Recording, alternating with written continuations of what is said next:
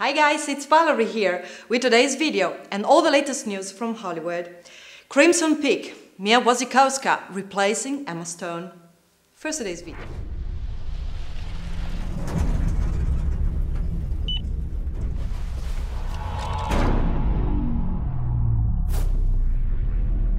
Turn to the left. Turn to the right.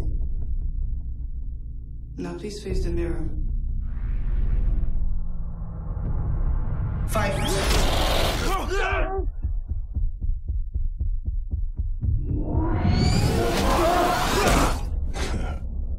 You have a contender. How would you like to test how good you are, Tiger? Or could become? No referees. No rules. Pure fighting. Fight Tai Chi for money.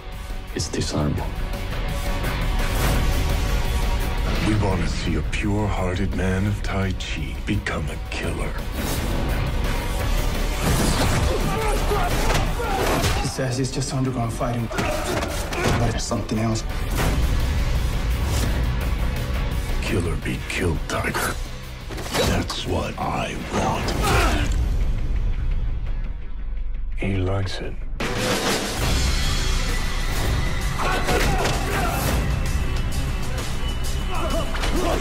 Why'd you win? Because I'm better. Finish him! I didn't come here to kill. You owe me a life.